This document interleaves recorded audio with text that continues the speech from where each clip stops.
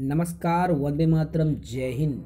स्वागत है आप सभी का आपके अपने यूट्यूब चैनल सीधी जॉब एजुकेशन पर। साथियों, आज से हम सीटेट की एमसीक्यू सीरीज़ प्रतिदिन करवाने वाले हैं। जी हाँ चलिए, आज से हम हिंदी पेडागोजी का, हिंदी शिक्षण शास्त्र की एमसीक्यू आज से शुरू करने जा रहे हैं। पूरा लास्ट तक देखेंगे, जो साथी नए होंगे हमारे यूट्यूब चैनल को सब्सक्राइब करेंगे। चलिए चलिए, हमारा पहला क्वेश्चन है, निम्नलिखित में से किस कार्य के लिए शब्द शब्दकोश से सहायता नहीं मिलेगी? देखिए, यहाँ पे साथियों निगेटिव में है क्वेश्चन है ना? तो कौन से कार्य के लिए शब्द शब्दकोश से सहायता हमको नहीं मिलती? तो उच्चारण में सुधार करोगे? हाँ ये तो सुधार में होगा। शब्द संपदा में सुधार ये भी होगा। वर्तनी भी सुधरेगी। तो शब्दकोश यदि डिक्शनरी का आप उपयोग कर रहे हो तो क्या लिखावट में सुधार होगा? नहीं। डिक्शनरी से लिखावट में सुधार नहीं होता। तो उत्तर हो जाएगा इसका डी। क्लियर है भाई? चलो, आगे बढ़ जाते हैं और आगे बात करें क्वेश्चन नंबर टू की। देखो, समग्र भौतिक प्रतिक्रिया विधि में खाली स्थान अवबोधन विषय का आधार है। तो कौन सा अवबोधन विषय का आधार है भाई? अवबोध मतलब ज्ञान की बात हो रही है। बोध कैसे होता है? श्रवण, पठन, वाचन, लेखन। तो इसका सही उत्तर आ जाएगा श्रवण। ठीक है? चलिए, आगे बढ़ते हैं भाई। क्वेश्चन नंबर तीन। क्वेश्चन नंबर हमारा तीसरा है देखो, जब विद्यार्थी, भाई, जब विद्यार्थी आनंद के लिए, किसके लिए साथियों? आनंद के लिए। जब विद्यार्थी आनंद के लिए पढ़ता है तो इसका तात्पर्य क्या है भाई? क्या चीज़ में वो संलग्न है? आनंद के लिए पढ़ रहा है तो सरसरी तौर पर सरसरी दृष्टि से पठन कर रहा है, बारीकी से पठन कर रहा है, गहनता से पठन कर रहा है, या विस्तार से पठन कर रहा है।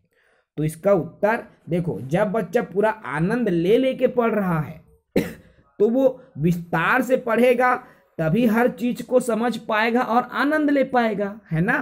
तो इसका उत्तर हो जाएगा तीसरा का डी ठीक है?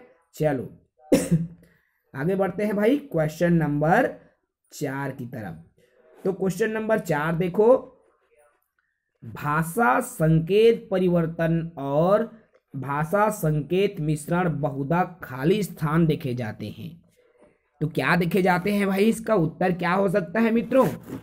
देखो, भाषा संकेत परिवर्तन और भाषा संकेत जो मिश्रण है, ये बहुधा एक भाषी बच्चों में, द्विभाषी बच्चों में, पठन वैकल्प ग्रसित बच्चों में या गणन वैकल्प ग्रसित बच्चों में। तो किसमें ये देखे जाते हैं भाई? जो द्विभाषी बच्चे हैं। अब द्विभाषी कहने का क्या आप तात्पर्य है? जो दो भाषा बोलते हैं, है ना? तो दो भाषा बोलने वाले जो बच्चे हैं, उनमें क्या पाते भाषा संकेत मिश्रण। मतलब मिश्रण मतलब वो दो भाषा का मिश्रण कर देते हैं। जैसे हमने आपमन की ही मैं बात करता हूँ, यदि आपमन लड़का मतलब कही था घर में, है, स्कूल में, है ना? कि बेटा हिंदी में बोले करा। तो बच्चे क्या करते हैं? हिंदी तो बोलते हैं, लेकिन वो माँ छत्तीसगढ़ी में मिश्रण कर देते हैं। तो ये दुभाष दुभाषी जो बच्चा है ना, द्विभाषी बच्चों में इस तरह की जो क्वालिटीज देखे जाते हैं। ठीक है, इसका उत्तर बी हो जाएगा। आगे बढ़ते हैं भाई क्वेश्चन नंबर पाँच। देखो, भाषा की आधारभूत संकल्पनात्मक संरचनात्मक इकाई, आधारभूत संरचनात्मक इकाई, भाषा की। तो भाषा की आधारभूत संरचनात्मक इकाई क्या है भाई? ए, स्वनिम, बी, आकृति, सी, लेखाचित्र, या डी, भाषा विषयक। तो भाषा की जो संरचनात्मक इकाई है, वो होता है स्वनिम में। किसमें होता है भाई? स्वनिम में। ठीक है? चलो, क्लियर है? आगे बढ़ जाते हैं। आगे बात करेंगे क्वेश्चन नंबर छ की। देखिए, क्वेश्चन नंबर छ है आपके मोबाइल की स्क्रीन पर दिख रहा होगा। बहुविकल्पीय प्रश्न। बहुविकल्पीय प्रश्न, क्लोज परीक्षण, निम्न का मिलान करो। आदि प्रश्नों के उन प्रकारों के उदाहरण हैं जिसे हम बहुधा खाली स्थान परीक्षण के रूप में देखते हैं। तो किस परीक्षण के रूप में देखते हैं भाई? देखो बहुविकल्पिक प्रश्न मतलब जो वैकल्पिक प्रश्न रहता है ना, और क्लोज परीक्षण वाला जो प्रश्न रहता है तो इन ऐसे प्रश्नों को किस रूप में हम देखते हैं? तो वस्तुनिष्ठ में पत्र लेखन में मौखिक में निबंध में। भाई पत्र लेखन में क्या ऐसे प्रश्नों को देखेंगे क्या? नहीं, निबंध में भी नहीं देखेंगे। तो ऐसे प्रश्न वस्तुनिष्ठ होते हैं, ऑप्शनल वाले। होते हैं ना? तो इसका उत्तर ए हो जाएगा। क्लियर है? चलिए, क्वेश्चन नंबर सातवां में आ जाते हैं, फटाफट। देखो भाई, यदि आप शब्दों के सिर्फ़ समानार्थी और विपरीतार्थी जानना चाहते हैं मतलब समानार्थी शब्द और विपरीत शब्द के बारे में जानना चाहते हैं तो आपको किसकी आवश्यकता होगी? तो किसकी आवश्यकता होगी भाई? क्या शब्द कोश की आवश्यकता होगी? संकलन या शब्द समूहों के सूची कोश की आवश्यकता होगी? तो उत्तर हो जाएगा सी, शब्द समूहों के सूची कोश की जो है आवश्यकता इसके लिए पड़ती है। क्लियर है? चलिए, आगे बढ़ते हैं क्वेश्चन नंबर आठ की तरफ़। देखो, क्वेश्चन नंबर आठ क्या कहता है? वर्ग शब्द पहेलियों के भाषा। वर्ग शब्द पहेलियों की भाषा खेल विद्यार्थियों को उनकी खाली स्थान सुधारने में मदद करता है। तो क्या सुधारने में मदद करता है भाई ये? पठन, शब्द संपदा, खे, लेखन और वाचन। तो वर्ग शब्द पहली, देखो, वर्ग शब्द का पहली बना रहे हैं ना बच्चों के सामने। तो अगर बच्चों के सामने आप शब्द की पहली बना रहे हो तो बच्चों में शब्द संपदा विकसित होगा, है ना? तो इसका उत्तर क्या हो जाएगा भाई? आठवां का उत्तर बी हो जाएगा, ठीक है? चलिए, आगे बढ़ जाते हैं क्वेश्चन नंबर नाइन की तरफ़। क्वेश्चन नंबर नाइन थोड़ा बड़ा है, पहले क्वेश्चन को समझते हैं, है ना? तो क्वेश्चन नंबर नाइन है भाई। और क्वेश्चन नंबर नाइन है। चलिए, ये जो ऑप्शन दिख रहा है क्वेश्चन नंबर नाइन में तो देखो, सुश्री सुधीना कक्षा एक में भाषा पढ़ाती है। वह अपने विद्यार्थियों को कविता और शिशु गीत पढ़ाना पसंद करती है। जिन्हें विद्यार्थी पहले सुनते हैं, फिर दोहराते हैं। मतलब कक्षा में क्या कर रहे हैं? जो सुश्री सुनिधा मैडम है, सुनीना सुधीना मैडम, वो शिशु गीत बच्चों को पढ़ा रही है। और शिशु गीत बच्चों को क्यों पढ़ा रही है भाई? क्या वजह हो सकता है? श्रवण और वाचन वाचन एवं पठन, श्रवण एवं पठन और पठन एवं लेखन। तो भाई, शिशु गीत बच्चों को सुना रही है कक्षा पहली में तो पठन तो आएगा। देखो, ये इसमें पढ़ना भी नहीं आएगा। वो सुना रही है ना, न पढ़ना आएगा, ना लेखन आएगा। डी तो कट ही जाएगा ऑलरेडी है ना? और श्रवण एवं पठन पठन तो आएगा ही नहीं ऑलरेडी ये कटेगा। वाचन एवं पठन पठन तो आएगा नहीं तो पठन वाला शब्द ऑलरेडी कट जाएगा आपका, है ना यहाँ से? तो क्वेश्चन का आंसर हो जाएगा डायरेक्ट ए ठीक है? क्या हो जाएगा भाई? ए श्रवण एवं वाचन। श्रवण तो करेगा ही, सुनेगा और उसका वाचन भी करेगा, ठीक है? तो उत्तर आ जाएगा इसका ए क्वेश्चन नंबर नाइन का। क्लियर है भाई? चलिए क्वेश्चन नंबर टेन की तरफ़ बढ़ते हैं। देखिए क्वेश्चन नंबर टेन की तरफ़ हम बढ़ जाते हैं। क्वेश्चन नंबर दसवा है जब कोई विद्यार्थी भाषा का प्रयोग अपनी भावनाओं संवेगों और विचारों को अभिव्यक्त करने के लिए करती है। मतलब कहने का क्या तात्पर्य है भाई?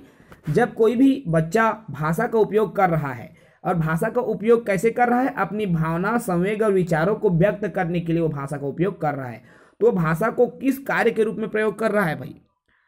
सृजनात्मक सूचनात्मक, निर्देशात्मक, व्यंजक, अर्थपूर्ण या विकास मूलक तो किस रूप में बच्चा उस भाषा का उपयोग कर पा रहा है? अर्थपूर्ण तरीके से। अर्थपूर्ण क्यों? क्योंकि वो अपने भावना को सामने वाले को प्रकट कर रहा है। जब तक वो अर्थपूर्ण तरीके से प्रकट नहीं करेगा तो क्या वो बोल पाएगा? यू आ करेगा तो क्या वो सामने वाला समझ पाएगा? जी नहीं। व्यंजक अर्थपूर्ण तरीके से जब वो बच्चा बोलेगा तो समझेगा तो क्वेश्चन नौ का क्या क्वेश्चन दस का क्या आ जाएगा सी आ जाएगा। ठीक है? चलिए क्वेश्चन नंबर ग्यारह की तरफ़ बढ़ते हैं। मज़ेदार क्लास है भाई, आप सभी जितने भी साथी जुड़े हुए हैं, चैनल को सब्सक्राइब करके रखेंगे। देखिए, क्वेश्चन नंबर ग्यारह देखो। श्री जगवीर अपनी कक्षा दो में श्रुत लेख के प्रयोग से अपनी विद्यार्थियों की खाली स्थान क्षमता में सुधार कर रहे हैं।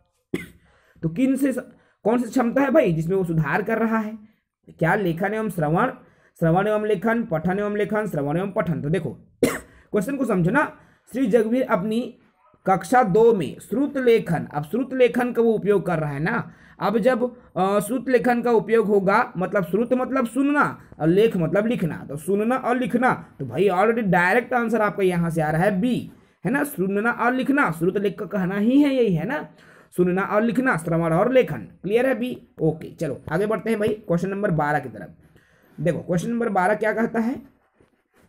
पठन को प्रभावित करने वाली जो अधिगम विकलांगता है तो पठन, अब पठन को कौन सी विकलांगता है जो कि प्रभावित करेगा? तो क्या है भाई? देखो, लेखन, वैकल्य, पठन, गणन, आचरण। अब यहाँ पर बात हो रही है पठन की, है ना? किसकी हो रही भाई? बात जब पठन को प्रभावित करने की हो रही है तो आंसर भी डायरेक्ट पठन में आएगा ना।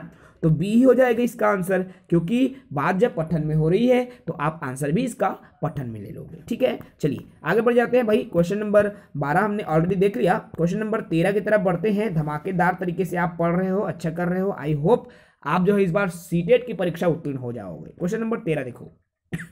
तो सुश्री परवीन की कक्षा आप देखो, सुश्री जो परवीन मैडम है, वो कक्षा में बहुधा विद्यार्थियों से अपेक्षा कर रही हैं कि वे पीछे पीछे दोहराएँ। मतलब ये दोहराने पर यहाँ पर बल दिया जा रहा है है ना? दोहराने पर बल दिया जा रहा है तो ऐसा अनुसरण कर रही है। क्यों कर रही है मैडम? इस तरह से दोहराने पर क्यों बल दे रही है? ताकि कक्षा में पुनरावृत्ति ड्रिल हो, ताकि कक्षा में वार्तालाप ड्रिल हो, ताकि कक्षा में पूरा करने का ड्रिल हो या अपने कक्षा में विकल्प ड्रिल का। तो किसका ये उपयोग कर रही है भाई मैडम? है ना? कर रही, क्या कर रही है भाई? तो अपने कक्षा में ये पुनरावृत्ति, दोहराना मतलब पुनरावृत्ति। यही होता ना, किसी भी चीज़ का आप दोहराना मतलब रूट लर्निंग मतलब पुनरावृत्ति की बात हो रही है तो इसका उत्तर क्या हो जाएगा? तेरह का ए आ जाएगा। ठीक है? ओके चलिए, आगे बढ़ते हैं भाई। क्वेश्चन नंबर तेरह हो गया, आगे बढ़ जाते हैं। देखो भाई क्वेश्चन नंबर चौदह की तरफ़ बढ़े। सस्वर पठन गतिविधियाँ है। अब सस्वर मतलब स्वर के साथ जब आप कोई भी पठ, पाठ पढ़ रहे हो ना तो ये क्या गतिविधियाँ हैं? कौन सी गतिविधियाँ हैं? इसमें बच्चा सीख क्या रहा है? तो पढ़ना सीखना शुरू करने वाले पाठकों के लिए ये लाभदायक है।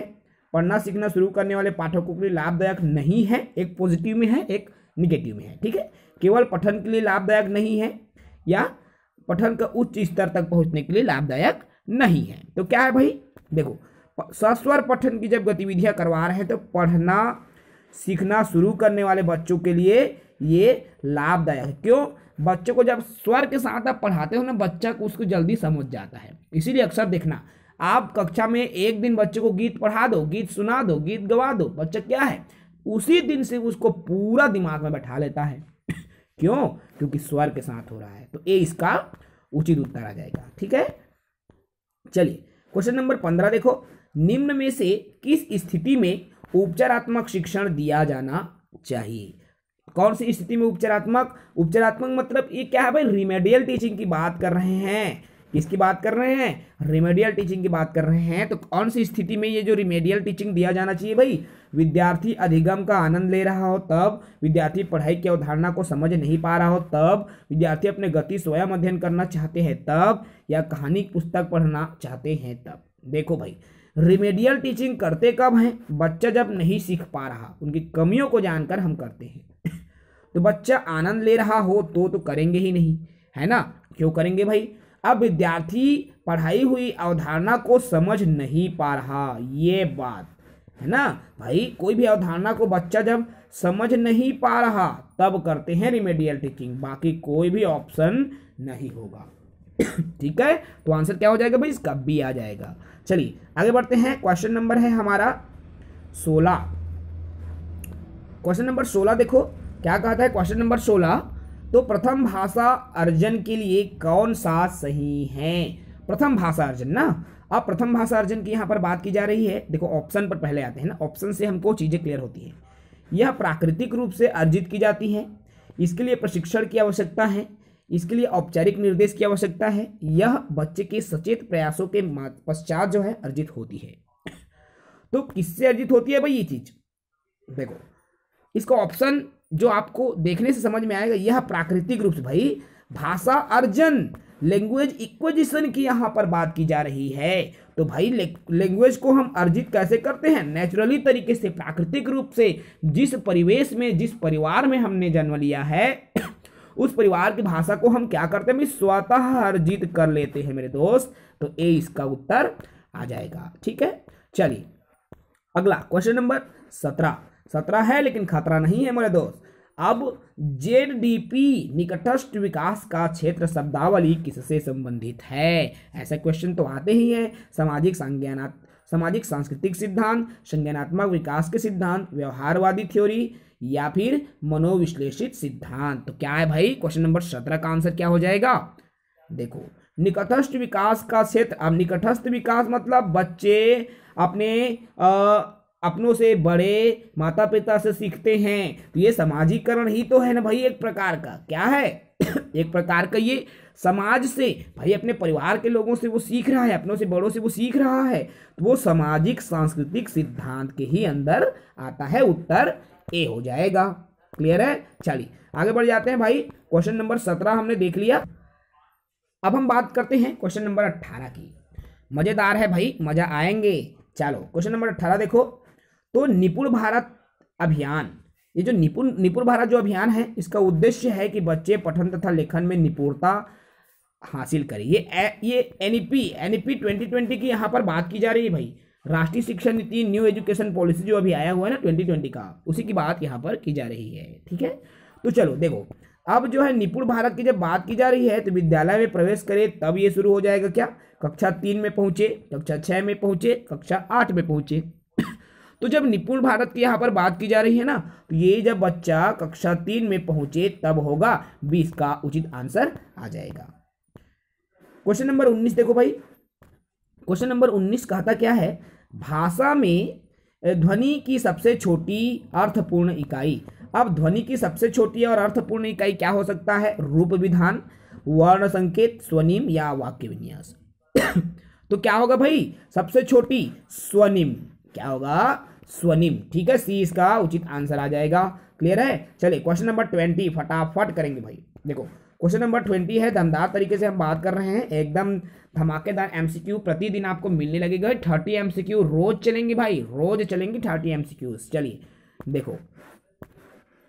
जब शिशु दो से तीन महीने की आयु में स्वर ध्वनियों को बोलने में सक्षम हो जाते हैं मतलब दो से तीन महीना का जब कोई शिशु होता है तो वह जो है स्वर ध्वनि को बोलना शुरू कर लेते हैं आप। इस अवस्था को क्या कहेंगे?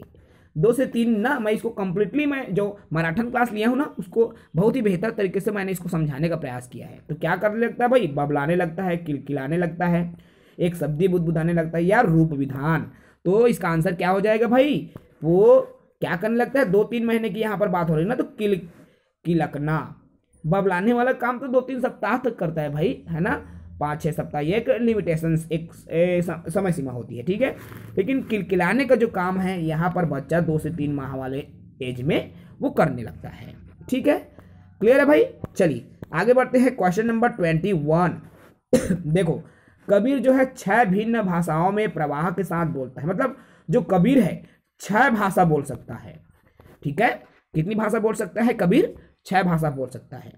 तो यह जो भाषाई योग्यता उसे क्या बनाएगी? द्विभाषी वक्ता, बहुभाषी वक्ता एक भाषी वक्ता या भाषाविद बनाएगी। तो क्या बनेगा भाई? देखो, बच्चा द्विभाषा बोलता तो द्विभाषी बनाता, बच्चा एक भाषा तो एक भाषी बनाता। लेकिन बच्चा यहाँ पर बहुत सारे भाषा बोल रहा है तो क्या बनाएगा मेरे दोस्त? ये बहुभाषी बनाएगा। तो बीस का उत्तर हो जाएगा। बिल्कुल क्वेश्चन में ही आंसर छिपा है। जी हाँ किसमें आंसर छिपा है?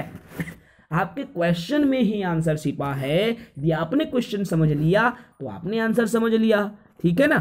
चलो, आगे बढ़ते हैं और क्वेश्चन नंबर बाईस की तरफ़। देख लो भाई क्वेश्चन नंबर बाईस है। क्वेश्चन नंबर बाईस का था क्या है? प्याजे के अनुसार बच्चे के समग्र बौद्धिक विकास के लिए। अब जो बच्चों के जो समग्र बौद्धिक विकास है तो बच्चों के समग्र बौद्धिक विकास के लिए ऑप्शन है आपके पास चार। भाषा की कौन, भाषा की कोई भूमिका नहीं है। भाषा सबसे महत्वपूर्ण पहलू है। भाषा मात्र एक पहलू है या भाषा विकास का अंग नहीं है। तो क्या है भाई? प्याजे के अनुसार बच्चे के समग्र बौद्धिक विकास की यहाँ पर बात की जा रही है, ठीक है? किसकी बात की जा रही है? समग्र बौद्धिक विकास। तो समग्र बौद्धिक विकास भाषा का सबसे महत्वपूर्ण पहलू है। ये तो निगेटिव है भाई ऑलरेडी कट जाएगा। भाषा एक एक मात्र मात्र यहाँ पर बोल रहे हैं ना, ये भी निगेटिव है मेरे दोस्त। अंग नहीं है ऑलरेडी निगेटिव यहाँ पर है तो एक ही ऑप्शन आपको अच्छे से पॉजिटिविटी के रूप में दिख रहा है। वह भी भाषा सबसे महत्वपूर्ण पहलू है है ना? यही आ जाएगा ना? ओके चलिए क्वेश्चन नंबर ट्वेंटी थ्री फटाफट। देखो चौमस्की की परिभाषिक शब्दावली सहजता योग्यता को किस रूप में, किस रूप में समझा जा सकता है? चौमस्की है ना, एक भाषा मनोवैज्ञानिक है, ठीक है? कौन? आपका चौमस्की हमने इसको डिटेल्ड करा दिया है। तो देखो चौमस्की के क्या कहना है? बच्चों में भाषा सीखने की जो क्षमता है, जन्मजात होती है। क्या होती है भाई? बच्चों में भाषा सीखने की जो क्षमता है, जन्मजात होती है और बच्चों के मस्तिष्क में एक डिवाइस होता है, जिसे L A D language acquisition divide भाषा अधिग्रहण, भाषा अर्जन यंत्र कहा जाता है। डायरेक्ट आपका उत्तर आ जाएगा ए और बाकी कट जाएगा। ठीक है ना? समझ गए भाई? ये चौमस्की के थ्योरी है मेरे दोस्त। चौमस्की के थ्योरी को ही डायरेक्ट उठा के ऑप्शन बना के पूछा गया है। ठीक है? चलिए question number twenty four question number चौबीस देखो। प्रथम भाषा अर्जन क्या है? तो प्रथम भाषा अर्जन क्या है भाई? प्रथम भाषा मतलब फ़र्स्ट लैंग्वेज यहाँ पर। अब फ़र्स्ट लैंग्वेज एक्विजिशन है क्या चीज़? विद्यार्थी के सचेत प्रयास हैं। विद्यालय की प्रमुख गतिविधि है, प्रशिक्षण के द्वारा होती है, या प्राकृतिक प्रक्रिया है। तो क्या प्रक्रिया है भाई? क्वेश्चन नंबर चौबीस। देखो, अब यहाँ पर अर्जन, एक शब्द दिख गया आपको। अर्जन, आखी कान मून के चिपरा धो ले भाई। काबर जहाँ पर आपको अर्जन दिख गया ना तो वो प्राकृतिक प्रक्रिया है। चुपचाप आप बना देना, चुपचाप ऑप्शन लगा देना, प्राकृतिक प्रक्रिया प्रक्रिया। इधर उधर सोचने की ज़रूरत ही आपको नहीं पड़ेगी मेरे दोस्त। ठीक है भाई? चलो, एक कक्षा। ऐसा कक्षा जहाँ बच्चे अपनी मातृभाषा से शुरुआत करते हैं, उसके बाद उन्हें अतिरिक्त भाषाओं का शिक्षण दिया जाता है। मतलब पहले वो मदर लैंग्वेज का उपयोग करेगा, उसके बाद बाद में उसको सेकेंड लैंग्वेज सिखाया जाता है। भाई, दूसरी भाषा सिखाएगा मतलब उसको क्या है भाई? सेकेंड लैंग्वेज सिखाया जा रहा है है ना? दूसरी भाषा सिखा रहा है मतलब सेकेंड लैंग्वेज और सेकेंड लैंग्वेज ही नहीं, जब बात की जाती है कक्षा की तो बात कक्षा में एक तो हिंदी सिखाएँगे, इंग्लिश सिखाएँगे, और संस्कृत भी सिखा रहे हैं। मतलब बहुत सारे भाषा यहाँ पर मतलब बहुभाषिक कक्षा वातावरण दिया जा रहा है। समझ रहे हैं ना चीज़ों को? तो ये है भाई इसका आंसर क्लियर है? चलिए। ओके क्वेश्चन नंबर छब्बीस की तरफ़ बढ़ते हैं। देख लो मेरे दोस्त क्वेश्चन नंबर छब्बीस क्या कहता है? तो छब्बीसवा क्वेश्चन है, किसी एक विचार को औपचारिक तरीके से संप्रेषित किया जाता है। कोई एक थॉट है, कोई एक विचार है, उसको संप्रेषित किया जा रहा है कम्युनिकेट किया जा रहा है, उसी विचार को अनौपचारिक तरीके से संप्रेषित किया जा रहा है। एक भाषिक वक्ता इस स्थिति को क्या कहेगा? मतलब ट्रांसलेटर जो होता है ना, जैसे मुझे तमिल नहीं आता। साउथ इंडियन की लैंग्वेज मुझे नहीं आती। मुझे इंग्लिश आता है। तो वो साउथ इंडियन में बोल रहा है, मैं इंग्लिश में उसको ट्रांसलेट कर रहा हूँ। या वो इंग्लिश बोल रहा है, इंग्लिश बोल रहा है, मैं उसको साउथ में ट्रांसलेट कर, एक ट्रांसलेटर रहता है ना बड़े बड़े नेता, जो अन्य राज्य कहीं भी प्रचार के लिए जाता है, चुनाव प्रचार के लिए इलेक्शन के लिए तो उसका एक ट्रांसलेटर रहता है वहाँ पर ट्रांसलेट करता है ना? समझ रहे हो ना चीज़ों को? ठीक है तो ये है क्या चीज़ भाई? कोड मिक्सिंग कोड स्विचिंग तो भाई, एकदम झकास कोड स्विचिंग है। ठीक है मतलब यहाँ पर ट्रांसलेट नहीं होता। यहाँ पर क्या किया जा रहा है? औपचारिक तरीके से संप्रेषित किया जा रहा है। मतलब देखो, मैं जिस भाषा को बोल रहा हूँ, कई भाषा उसमें यूज़ हो रहा है। लेकिन यहाँ पर एक भाषा से दूसरे भाषा में कोड स्विचिंग यही कहलाता है। एक भाषा वो बोला, मैं दूसरे भाषा में ट्रांसलेट करके बोल रहा हूँ। कोड मिक्सिंग में कई भाषा आप मिला देते हो, ठीक है? यार ये इसका आंसर जो है बी आ जाएगा। ओके भाई, चलिए क्वेश्चन नंबर ट्वेंटी सेवन फटाफट करते हैं। बिल्कुल। देखो, चलो भाई। नॉम चौमस्की आप, अभी हमने इसको बता दिया ना, नॉम चौमस्की कई कई बार आता है। ठीक है तो नॉम चौमस्की का थॉट्स मैंने इसके जस्ट कुछ प्रश्न के पहले ही मैंने आपको क्लियर करा दिया है। तो इसमें क्या होता है? किसका समर्थन करता है? पहले देखो क्वेश्चन नॉम चौमस्की तो बच्चे द्रुत गति से भाषा अर्जित करते हैं। सभी संस्कृतियों में भाषा अधिगम अधिगम का प्रतिरूप अधिकांश एक जैसा है। भाषा विकास अधिकांश बच्चों में समान आयु के आसपास होता है। यह भाषा केवल सीखी जाती है, अर्जित नहीं की जाती है। तो क्या है भाई इसका सही आंसर? देखो, नाम चौमस्की समर्थन किसका कर रहे हैं? यहाँ पर नाम किसके साइड आप जाओगे? आपको जाना है नाम चौमस्की के साइड ऑप्शन में ना ऑप्शन में जाना है मेरे दोस्त। किसकी तरफ़ जाओगे आप? नाम चौमस्की के साइड किसकी तरफ़ जाओगे? देखो, सभी संस्कृतियों में भाषा दिग्रम का प्रतिरूप अधिकांशतः एक भाई, यहाँ पर कल्चर की बात हो रही है, यहाँ पर संस्कृति की बात हो रही है। तो भाषा सभी संस्कृति में तो एक ही जैसा होगा ना? अगर चौमस्की कहता है कि एलईडी रहेगा, चाहे हिंदी बोल, छत्तीसगढ़ी बोल उर्दू बोल, फुर्दू बोल, मराठी, कुछ भाषा बोल, भाई एलईडी रही लड़का में तो वहाँ एलईडी सब भाषा में बोलो, या लड़का मन के में रही, है ना? तो यही चीज़ें यहाँ पर बोला जा रहा है, ठीक है? चलिए क्वेश्चन नंबर ट्वेंटी एट फटाफट, नॉम चौमस्की से जुड़ा हुआ बहुत क्वेश्चन आता है भाई आपके, है ना एग्ज़ाम में? तो नॉम चौमस्की के सिद्धांत के अनुसार हम सभी सहजात समझ के साथ जन्म लेते हैं। कि भाषा कैसे कार्य करती है? सहजात समझ के साथ कैसे जन्म लेते हैं? भाई ऑप्शन को समझो पहले, देखो। संकेत भाषा, सार्वभौमिक व्याकरण, बुनियादी शिक्षा या व्यवहारिक विज्ञान की बात हो रही है। तो जो बच्चा है, नॉम चौमस्की के अनुसार सह, सहजात समझ मतलब एक समझ जो कि सार्वभौमिक मतलब ऑलरेडी उसके अंदर में व्याकरण का गुण होता है तो सार्वभौमिक व्याकरण ये आ जाएगा। ठीक है ना? ओके चलिए क्वेश्चन नंबर ट्वेंटी नाइन भाई, फटाफट। क्वेश्चन नंबर ट्वेंटी नाइन देखो। ट्वेंटी नाइन क्या कहते हैं? बहुभाषिक शिक्षा एक ऐसी प्रक्रिया है जिसमें शिक्षार्थी विद्यालय में अतिरिक्त भाषा सीखने से पहले किसकी शुरुआत करते हैं मेरे दोस्त? अपनी मातृभाषा को, द्वितीय भाषा को, संकेत भाषा को या बहुभाषा को? किसकी शुरुआत करते हैं भाई? बच्चा शिक्षार्थी विद्यालय में अतिरिक्त भाषा सीखना चाहता है तो वो अपनी मातृभाषा का उपयोग करते हैं शुरुआत। भाई, कोई भी भाषा आपको सीखना है, शुरू तो आप मातृभाषा से करोगे ना उसके बाद उसी का हेल्प लेके, उसी के उपयोग से आप फिर अदर लैंग्वेज को सीख पाते हो। ठीक है? लास्ट क्वेश्चन है भाई सीरीज़ का, सिर्फ़ लास्ट क्वेश्चन ये लो देख लो, आपका अंतिम प्रश्न है, आपके स्क्रीन पर शो हो गया होगा, देख लीजिए। थर्टी क्वेश्चन देखो। द्वितीय भाषा के शिक्षण शास्त्रीय अभ्यास में खाली स्थान के द्वारा संरचना को बेहतर तरीके से आत्मसात किया जाता है। यहाँ पर सेकंड लैंग्वेज की बात हो रही है ना? तो सामान्य प्रयोग होने वाले वाक्य विन्यासों के अभ्यास और पुनरावृत्ति जिसको दोहराव बोलते हैं ना? और रोचक विषय सामग्री के साथ अंत पूर्ण अर्थपूर्ण अंत क्रिया या भाषा के अर्थपूर्ण अंतरण, अवलोकन तथा सहायता। तो द्विभाषी, द्वितीय भाषा के शिक्षण शास्त्रीय अभ्यास की यहाँ पर बात की जा रही है। मतलब दूसरी भाषा सीखने में अभ्यास कर रहे हैं, है ना? तो क्या चीज़ें इंपॉर्टेंट है भाई यहाँ पर? देखो सामान्यतः प्रयोग होने वाले वाक्य विन्यासियों के साथ अभ्यास भी ज़रूरी है। दूसरी भाषा सीख रहे हैं तो practice make man perfect. Practice ही इंसान को पूर्ण बनाता है। तो भाई प्रैक्टिस तो होगी ना इस चीज़ में? कि नहीं होगी? बताओ भाई फटाफट। होगी, लेकिन यहाँ पर निगेटिव वर्ड आ गया, पुनरावृत्ति। तो ये ऑलरेडी कट जाएगा। समझ रहे हैं ना चीज़ों को? तो दूसरा ऑप्शन को देखो भाई एक बार।